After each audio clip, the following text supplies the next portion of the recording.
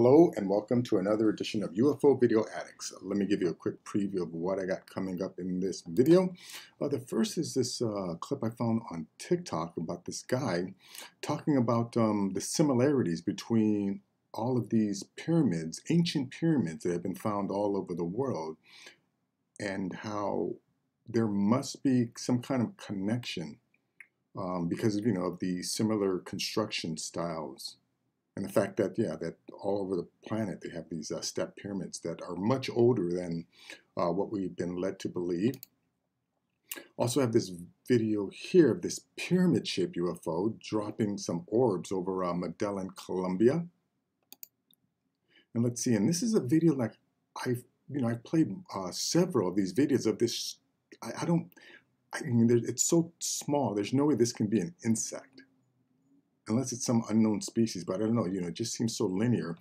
But uh, this has to be at least the fourth or fifth video that I've um, uploaded of this exact same thing. I don't even know what to call it, a creature, an object, but uh, we'll take a look at that. And uh, let's see, and I got this one here um, of this uh, flying orb you see right here. This is filmed by a helicopter over a, uh, a fire a brush fire, and um, they caught this little orb moving towards the fire. Also have this video here. This is an old video of the two people. This guy, Joseph Ferriere, got a photograph of this cigar-shaped video, and this guy, Harold Trudell, actually got video of this, of, um, of the same craft. Actually, I don't know if the same craft. It's the same shape. Uh, let's see. And then this is a long video of Clifford Stone um, acknowledging that our government um, has has basically lied to us about studying UFOs and um, how he was a part of a, a crash recovery team. Uh, let's see, and then this is a clip of this guy, Major General John Olson of the U.S. Space Force, who's asked about um, UFOs and UAPs, and you know you have to listen real closely to his answer because he actually never answers the question. He parses his words very carefully and um, sort of doesn't actually answer the question, but just, you know, um, yeah, uses all these, yeah, a lot of words come out of his mouth, but he doesn't really say anything. So, you know, we'll take a look at that. Uh, let's see. And then this is like, you know, I'm saying this is the, the, the disclosure episode because uh, apparently today it's all coming out. This is Ross Coulthart interviewing this um, this uh, military whistleblower, um, acknowledging again acknowledging that our government does have a UFO crash retrieval program, and um, yeah, and he was a part of it. Uh, let's see, and then this is a, a little clip I found on Reddit talking about why our government doesn't want to tell us about UFOs, tries to um, obfuscate the whole the whole subject. And this is an article from August of 20, of 2010, right? Churchill ordered UFO cover-up, National Archives show.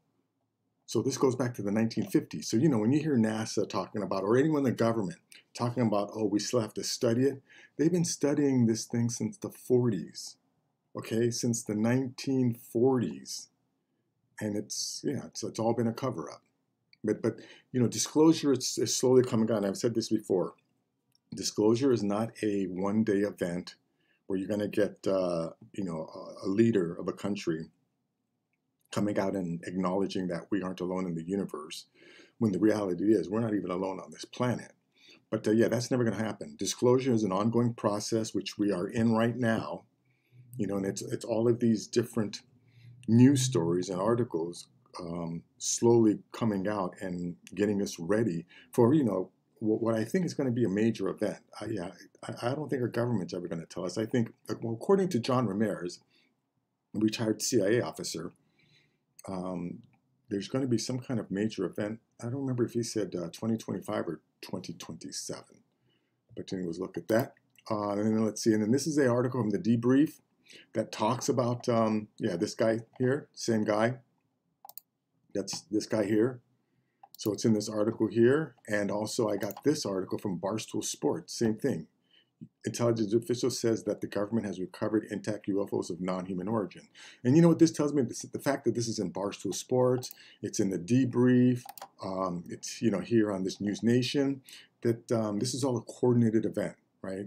Whoever this guy is, he was given permission, right? He's he's a yeah he was tasked with releasing this information and he's only going to release, you know, whatever the government approved information.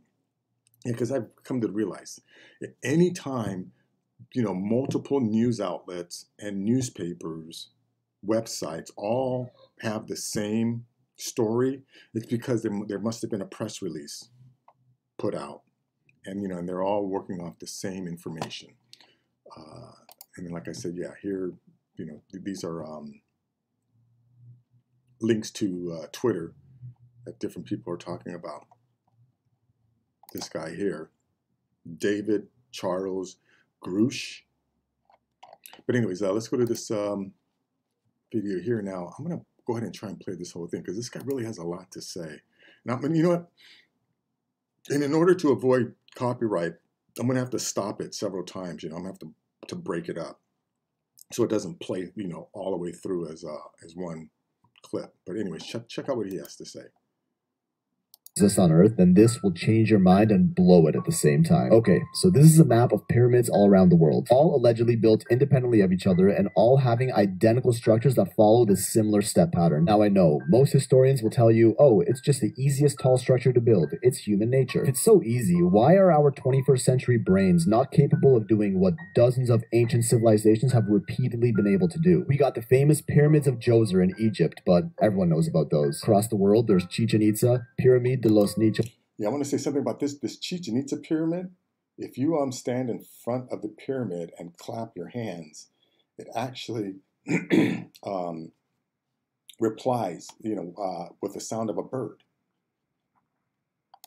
Tikal Temple, the Great Pyramid of Cholula, among others in Mexico. And then on the other side of the planet, we got Koh Ker and Prasat Baksei Chamkrong in Cambodia. Off the coast of a tiny Japanese island deep within the ocean is the sunken Yonaguni Monument, a supposed 10,000 years old, older than even the Egyptian pyramids. All with a nearly identical look, yet built by completely different cultures with zero contact among each other and thousands of kilometers apart. But this is just the tip. We got way more lesser known pyramids, even older than the Egyptian ones that ain't even standing anymore. Like the Gunung Padang Temple in Indonesia. Doesn't look so hot now, but used to be a step pyramid a whole 9,000 years ago. At least that's what they thought, until a more recent radiocarbon analysis shows that the lower parts of this temple go as far back as 28 thousand years. Then this enormous hill in Bosnia was studied, and almost every archaeologist that visited it confirmed that it could not have been naturally formed, perfectly aligning to true north among many other characteristics of pyramids. These studies found out this hidden monument is over 35,000 years old and would be the oldest and largest pyramid in the world hidden under years of vegetation. But the Bosnian government strangely halted further study on this thing for some reason. There's a crazy story behind what they found there, which honestly deserves its own video, so I'll probably be dropping that sometime. Fallen Pyramid of Hellinikon in Greece has bold that are joined so tightly that even a human hair can't fit through the joints without any sort of ancient cement used. Built around 3000 BC, meanwhile, an almost identical masonry techniques was found in these walls in the city of Cusco in Peru called Sacsayhuaman, over 11,000 kilometers away. And how old are these walls?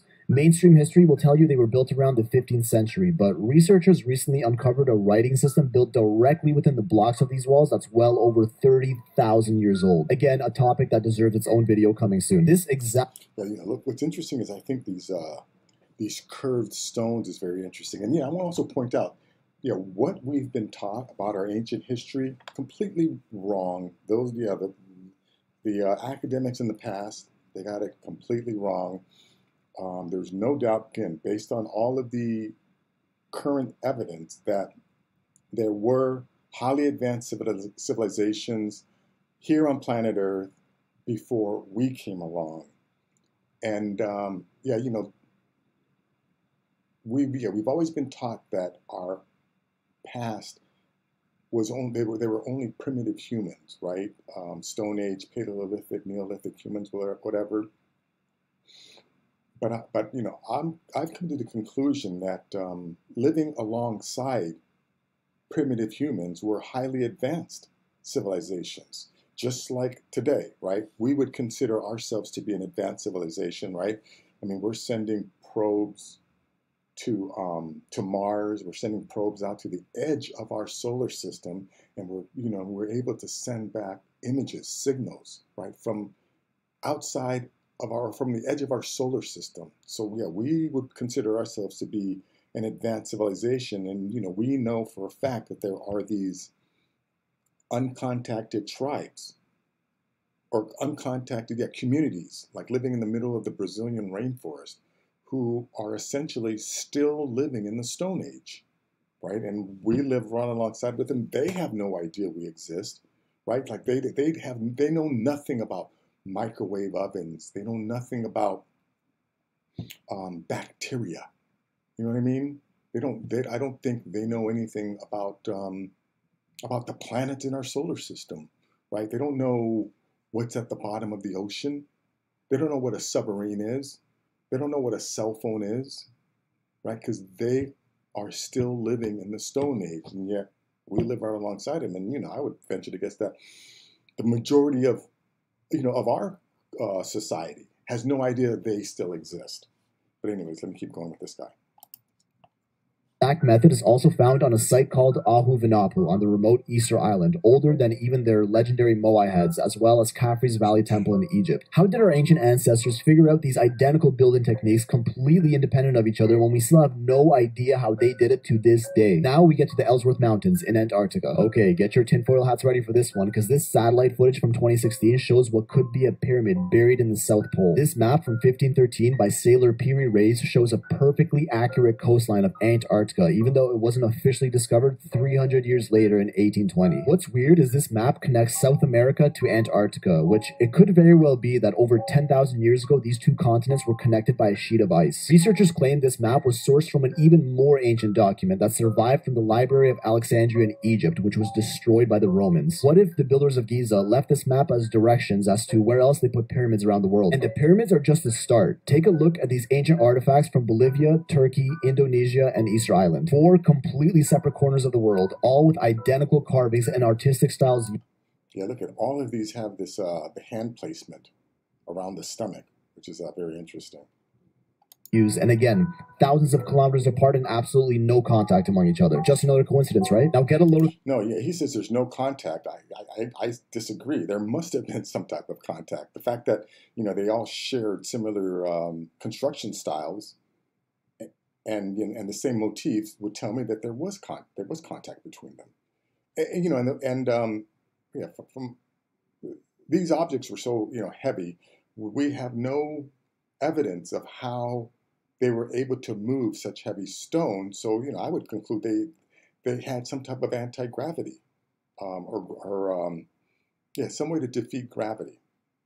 So they must have uh, communicated and had contact and shared technology.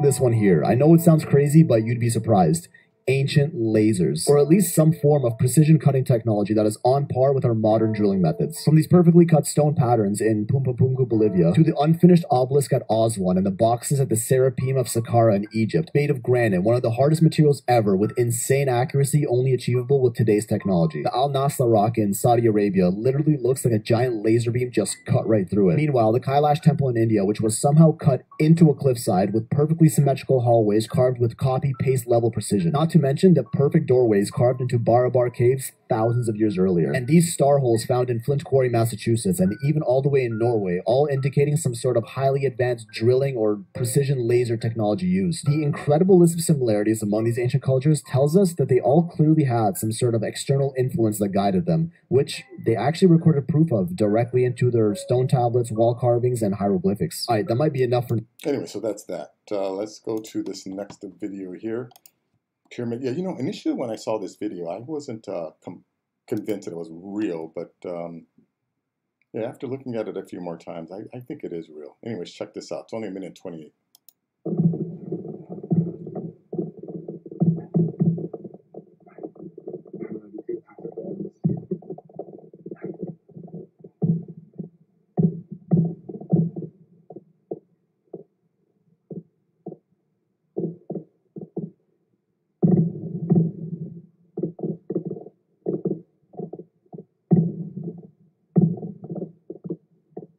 Yeah, now this is, you know, this craft was what um, Jeremy Corbell, or the video that Jeremy Corbell released that he got from the uh, from the Navy ships uh, in, in, that infrared. I think they were surrounded by several of these pyramid-shaped uh, UFOs.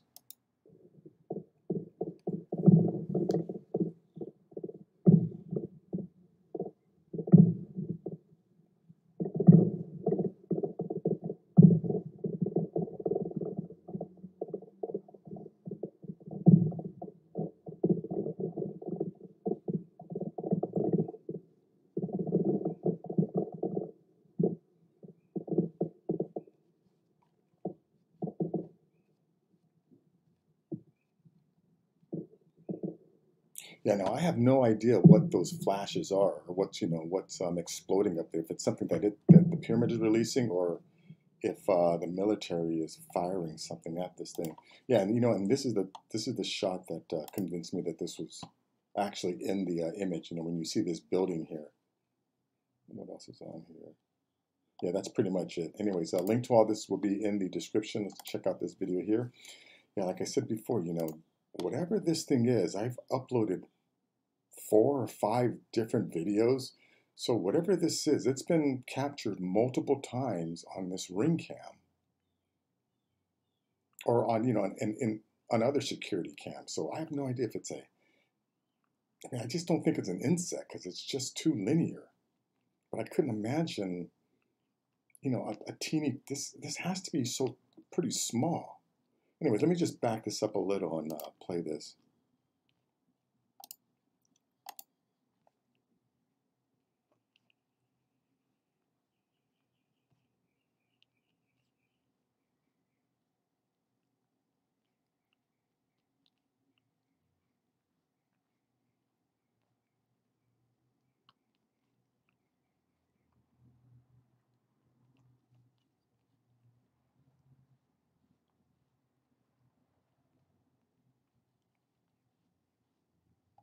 Anyways, that's that. Link will be in the description. Let's go to this one here. Yeah, now this is kind of interesting. This was filmed from a helicopter that was um, uh, putting out fires. Check this out in San Bernardino. Yeah, look at that thing.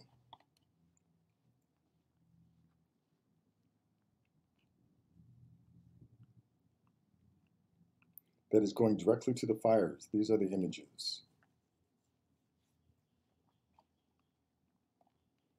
Again, you know, whatever this is, this has been caught multiple times on different cameras. Anyways, link will be in the description. Let's go to this one here. This is the cigar-shaped craft that was seen by Joseph Ferrari, and, Her and then Harold Trudell has a video of it. Check this out. And there, sitting in the sky, was this huge cigar-shaped object, perfectly silent, almost as if it crept up on me. One minute it was not there, the next minute it just was. This is what Joe Ferriere saw a huge object that he calls a mothership, carrying smaller, saucer shaped craft like these. Newspapers carried Joe's story, and noted UFO expert August Roberts said the photos depict an aircraft found nowhere on this Earth. They're, they're real. Whatever that thing is, it's up there, and the photographic experts agree. But what would the experts say about this? An 8mm film of an object similar to the one Joe photographed was taken by Harold Trudell, a former observer for the Civil Air Patrol. Harold's close encounter took place in a wooded area of Cumberland. Tell me what happened on that day in September 1968. This is an area where basically there were UFO sightings in the area. And I was uh, skywalking. Yeah, this is not the best video, so you know you're gonna have to um, check out the link yourself. Let's see, let's go to uh, this video here. You know, this is a long video. It's almost 25 minutes long, but this is from the um, the Disclosure Project. Um, uh, Steven Greer's Disclosure Project that took place in November of 2001, I think it was. But this is Clifford Stone basically talking about, you know, how our government does cover up the uh, the UFO phenomenon, and he knows because he was part of a crash retrieval team that um, you know routinely told people that yeah, nothing's there's nothing there. Anyways, check this out. Morning, ladies and gentlemen. My name's Clifford Stone. I was a Sergeant First Class, United States Army. I had a secret clearance with Nuclear Assurity. I could get the clearance that I needed to do whatever it was uh, that was necessary for me to do at the time on special operations when I was called in on those. What I'm referring to here is that I was involved in situations where we actually did recoveries of, tra- of crashed saucers, for lack of a better term, debris thereof. There were bodies that were involved with some of these crashes, also some were alive. While we were doing all this, we were telling the American public there was nothing to it. We were telling the world there was nothing to it. But the whole situation is we've set back, we've told the American people that there's no such thing as UFOs. I've been involved where we have recovered these objects. We know them to be of extraterrestrials. In 1969, I had an event that happened to me while I was stationed at Fort Lee, Virginia. We went to Indiantown Gap, Pennsylvania. That would be my first exposure to any time that we would be recovering an unidentified flying object. When we went there, we already had people that was already in the, in the facility. We were a backup team, which was supposed to be NBC because there was supposed to be some nuclear materials that was on board this craft. Now, I just want to say one thing. I think the reason why, right, the United States is the only country that has U.S. military bases all over the planet. There's like Russia, China, they do not have, you know, satellite military bases all over the planet the way the United States does. And I don't think it's, you know, that they're there for military purposes or to keep a, you know, eye on our adversaries or our enemies. I think the U.S. has military bases all over the planet is because that, you know, that's where these crash retrieval teams are located. So they can get to these sites immediately. Because from my understanding, right, just like like whenever our planes, right, anyone flying a plane, a pilot is in distress, right, they send out a a, um, a, a help signal, a mayday signal, and I'm, I'm sure our advanced neighbors, right, whenever their ships are having problems, when they know they're going to crash, they do the same thing. They send out a distress call. So you know when their when their uh, ships crash, it becomes a race between us and you know and and the species that crashed. Who who can get to that crash site first and uh, and recover the craft? But like I said, I think that's the reason why um, the U.S. has military bases all over the planet. It's not for military reasons. It's so that we can get to these uh, crash retrieval sites quickly. Later on, most people involved would have been were were to be told that there was nothing on board it. It was nothing more than just a crash of one of our aircraft. I know better because I was one of the people that approached it with a Geiger counter to get surface readings. I was the first person to go ahead and see that there were bodies on it. That would be the first of approximately 12 events. UFO crashes are not events that take place every day. They're rare. I know we're not alone in the universe. I know that the absence of evidence is not evidence of absence. It's evidence that has been denied to the American people. And one thing, we're definitely not alone on the universe, but more importantly, we aren't alone on this planet, which is why, right, there are literally thousands of reports of UFOs exiting our oceans and entering our oceans. There are videos of UFOs entering volcanoes and exiting volcanoes, right? There are stories of crafts coming out of lakes, right? That, that you know, we have um, flight corridors here on this planet, right? And and you know, I, I understand that we don't have a lot of sensors or people out in space or on other planets, so we're not seeing them out there. But that in no way invalidates the thousands of reports of UFOs reported here on this planet. And you know, a lot of times these guys, I think you know they they always say extraterrestrials or you know we're not alone in the universe, and it's it's to um it's to distract people. It's to it's to get people to focus you know out into space as opposed to here on this planet. Anyways, check this out.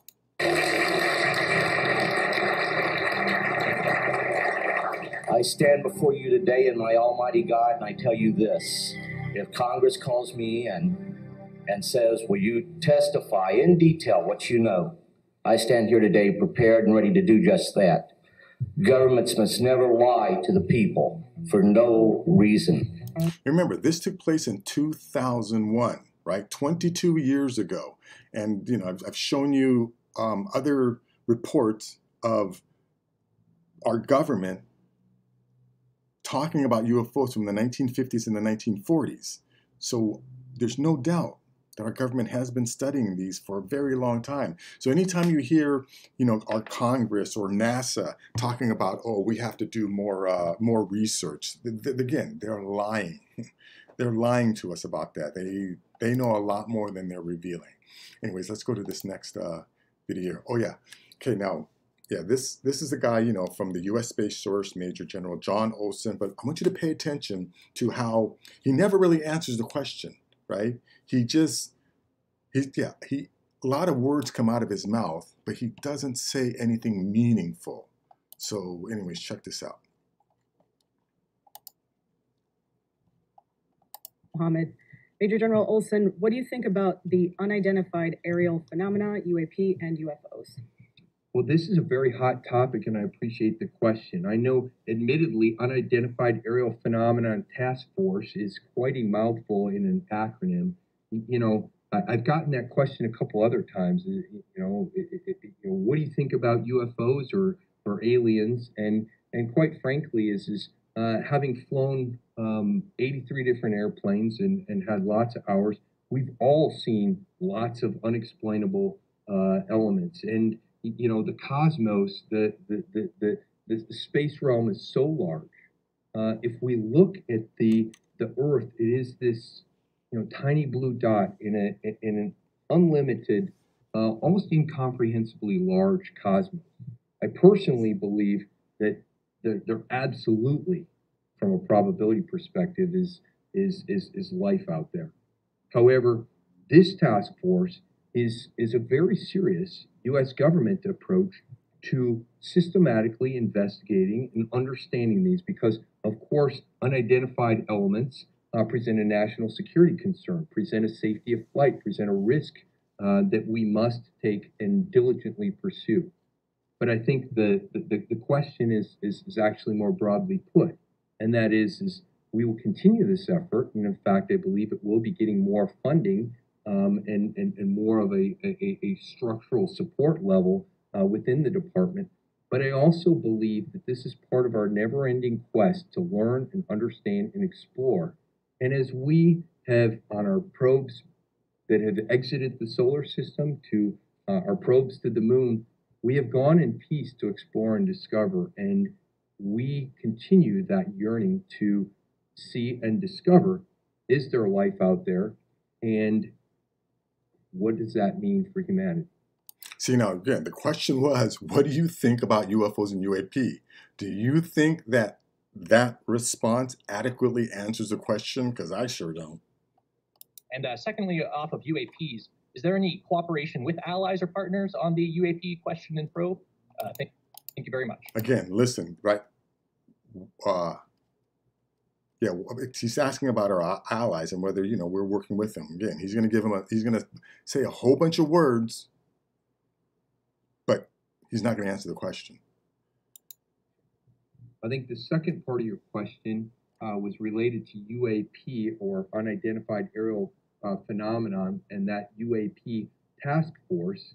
Um, and, and, and as far as I'm concerned or, or am knowledgeable above, about that, I do believe it does involve collaborative inputs and um, information exchange with all kinds of countries around the globe because I think these are not just uh, solely um, uh, actions or, or, or, or uh, events that have occurred within the con- uh, confines of the United States. They've, they've occurred globally. And I think we're collecting that information. Uh, we're sharing information. We view that as an open and transparent effort and activity through uh, through the United States Congress and, and, and executed by our UAP Task Force Office.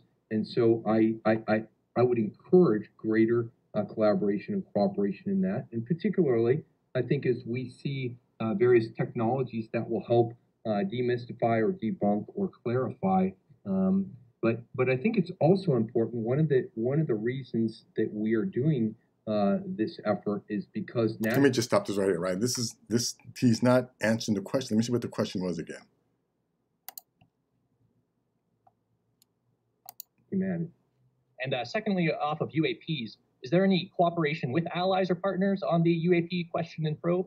Right. Yeah, guys asking, you know, whether or not we are working with our allies on UFOs and UAPs. And again, he, he doesn't answer the question. Bunch of words come out of his mouth, but he says nothing. Anyways, a uh, link to that will be in the description. Let's go to this one here. Well, yeah, so now this, you know, this is um something that's just coming out today.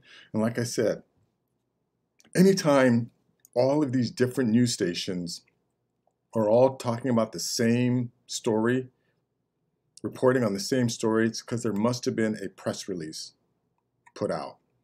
And um, yeah, they're all just reading from the same script. But uh, let me just start this at the beginning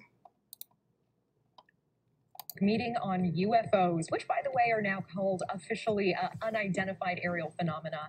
This is a year after launching a study into unexplained sightings. And now, tonight, a worldwide TV exclusive you will only see right here on News Nation bombshell claims from a military whistleblower published just this morning, alleging a secret UFO retrieval program within the U.S. government.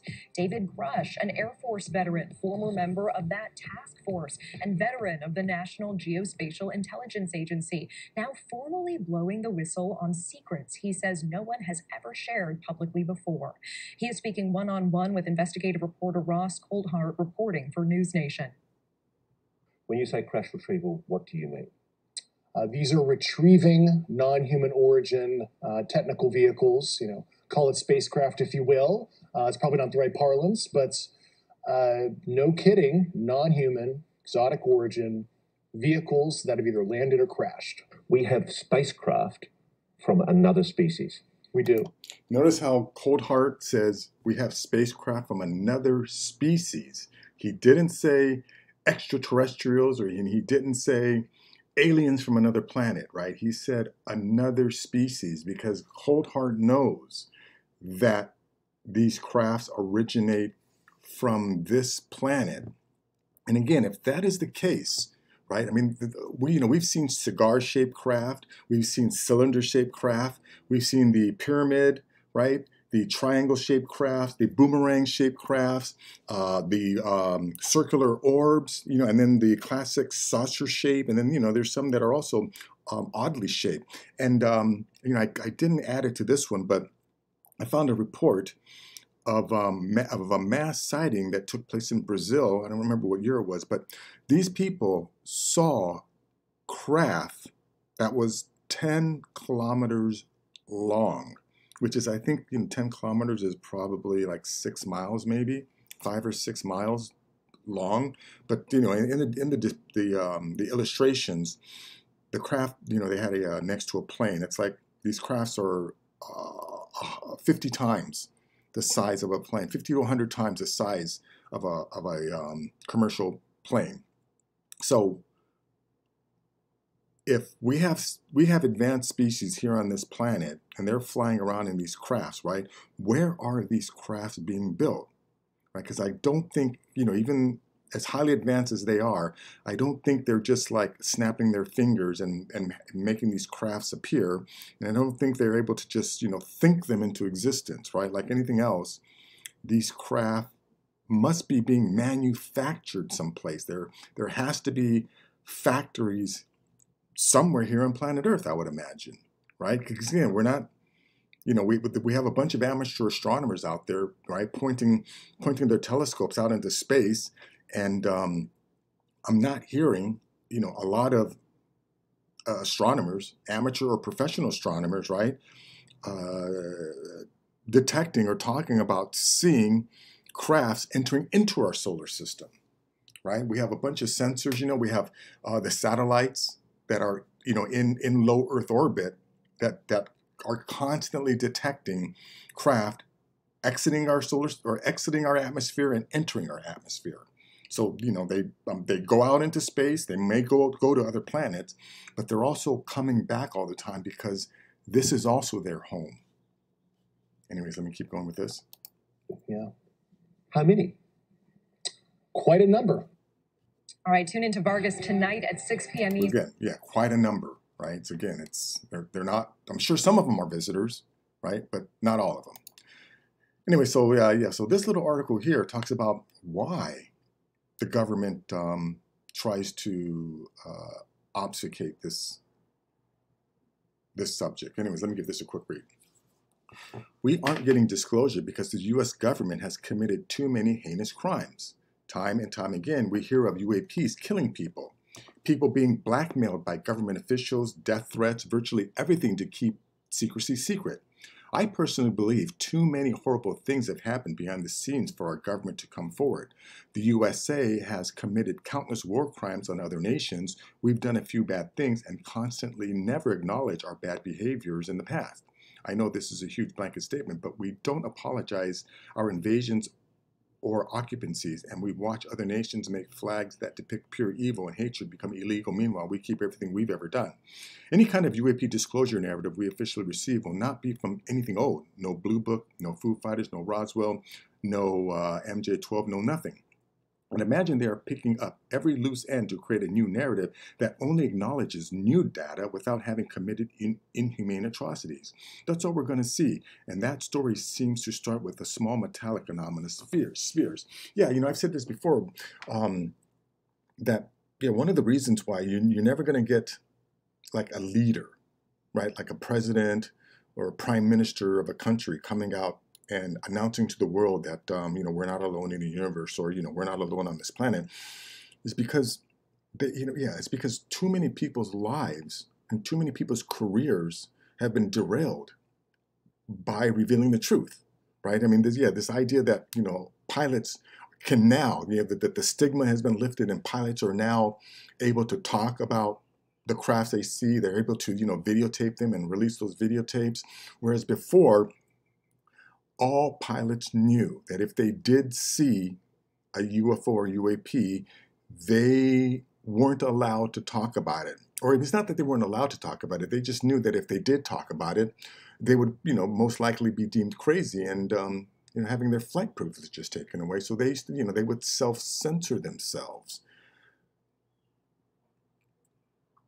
But yeah, but it's, yeah, it, it's, it's for, um, legal purposes. Because if again, if the if a government official or government leader does come out and reveal that UFOs are real and that you know there's been a cover up for the past 70 years, 80 years, then all of these people who had their lives ruined, their careers derailed, would have grounds to sue the government. And the government is not going to open themselves up to legal liability like that. So yeah, I think that's that's also one of the major reasons. But anyways, uh, let's go on to uh, this um, article here. Here, this is from 2010. Churchill ordered UFO cover-up. National Archives show. So yeah, this came out in 2010. It says the government took the threat of UFOs so seriously in the 1950s that UK intelligence chiefs met to discuss the issue. Newly released files show. Ministers even went on to commission weekly reports on UFO sightings from a committee of intelligence experts. The paper also included a wartime account claiming Prime Minister Winston Churchill ordered a UFO sighting be kept secret to prevent mass panic. The files show reports of UFOs peaked in 1996 when The X Files was popular. The Joint Intelligence Committee is better known for providing briefings to the government on matters relating to security, defense, and foreign affairs. But the latest batch of UFO files released from the Ministry of Defense to the National Archives show that in 1957, the committee received reports detailing an average of one UFO sighting a week. The files also include an account of a wartime meeting attended by Winston Churchill in which it is claimed the Prime Minister was so concerned about a reported encounter between a UFO and RAF, RAF bomber that he ordered it to be kept secret for at least 50 years to prevent mass panic. Nick Pope, who used to investigate UFO sightings for the MOD, said The interesting thing is that most of the UFO files from that period have been destroyed. But what happened is that a scientist whose grandfather was one of his Churchill's bodyguard, said, Look, Churchill and Eisenhower got together to cover up this phenom- phenomenal UFO sighting that was witnessed by an RAF crew on their way back from a bombing raid. Anyways, um, you know, the uh, link to the article will be in here. It's kind of long. I don't want to read the whole thing. This video is getting a little too long, so let me hurry up and get through this. Now, this is from the debrief. Now, this is, yeah, intelligence officials say U.S. has retrieved craft of non-human origin, right? This is basically about this guy here. A former intelligence officer turned whistleblower has given Congress and the intelligence community inspector general extensive classified information about a deeply covert program that he says possesses retrieved intact and partially intact craft of non-human origin. The information, he says, has been illegally withheld from Congress, and he filed a complaint alleging that he suffered illegal retaliation for his confidential disclosures, reported here for the first time. That I don't believe, right? I think, yeah, this is a coordinated um, effort, right? That he's he's coming out with all this stuff. Otherwise, he wouldn't be allowed to go on um, any type of uh, you know news station and, and reveal that our government um, has been has been you know um, collecting crash uh, UFO debris or retrieving crash UFOs. Let's see, other intelligence officials, both active and retired, with knowledge of these programs through their work in various agencies, have independently provided similar corroborating information both on and off the record. The whistleblower, David Charles Grusch, 36, a decorated former combat officer in Afghanistan, is a veteran of the National Geospatial Intelligence Agency and the National Reconnaissance Office. He served as the Reconnaissance Office's representative to the United Aerial Phenomena Task Force from 2019 to 2021.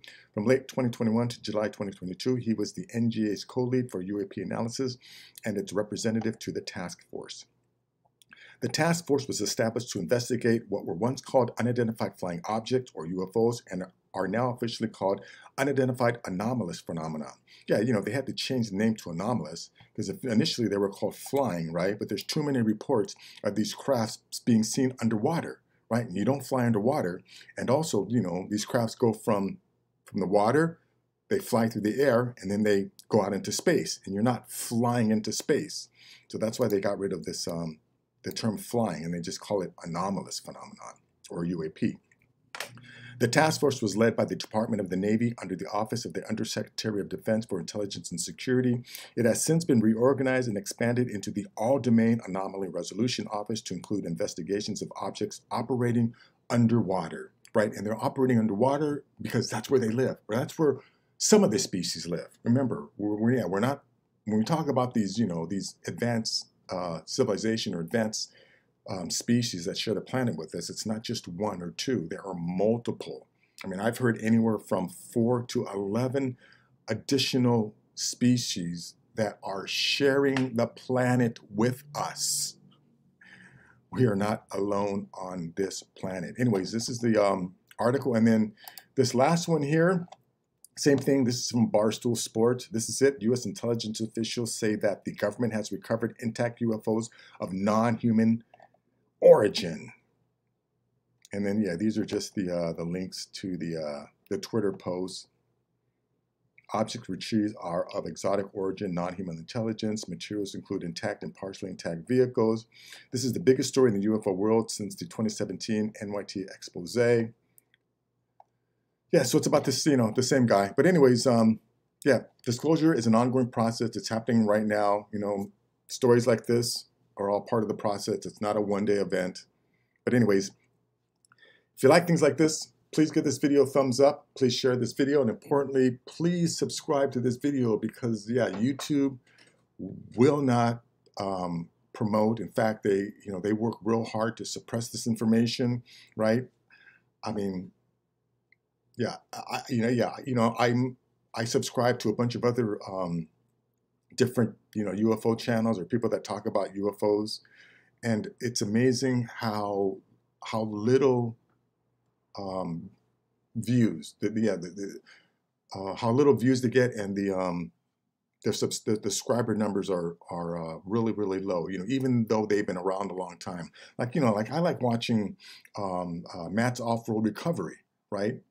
videos. I mean, this is just a, a you know a tiny uh, off-road tow recovery out of out of Utah, and yet he has over a million subscribers. He puts out a video, right? It gets tens of thousands of views, you know, within a day. With you know, he gets thousands of views within an hour, and I find it hard to believe that um, more people would be interested in a obscure tow company in Utah than this, you know, than the subject of UFOs. I mean, I um, I know that UFOs is our very popular subject, right? That's the reason why there are so many UFO programs on cable, right? And there have been UFO pro, you know, so many UFO programs on cable because it's a popular subject, right? A lot of people have an interest in UFOs, but any of us, right? Any of the people um, that make these UFOs, but you know, except right, if, you know, if, you you're putting out UFO videos and you're going, oh, I don't know what it is.